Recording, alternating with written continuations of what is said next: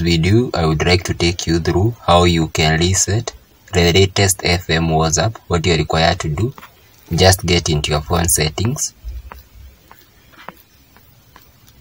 After getting getting into your phone settings what you are required to do just move to where we have an option named as apps and notifications. Just click above it.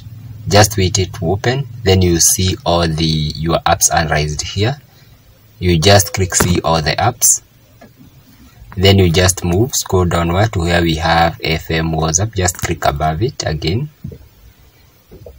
Since whatsapp removed the option which allows you to reset it using e-settings you just need to come to where we have the storage and cache what you do in, instead of uninstalling whatsapp which is less economical and time wastage and then complication just clear the storage but after clearing the storage just ensure before doing this you back up all your chats in fm whatsapp as we do.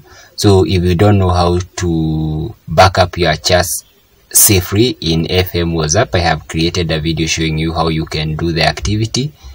Uh, or just in most cases you have backup this thing in crowd. You should now be backupping your information in crowd. So you just clear the storage in order to reset WhatsApp back to the default FM WhatsApp back to the default setting. This is the method which you can use. So thank uh, thank you for watching. Please don't forget to give the video a thumb up and also to put a comment in the comments section. We value both positive and negative sentiment about the video which you create. So thank you for watching and bon appetit.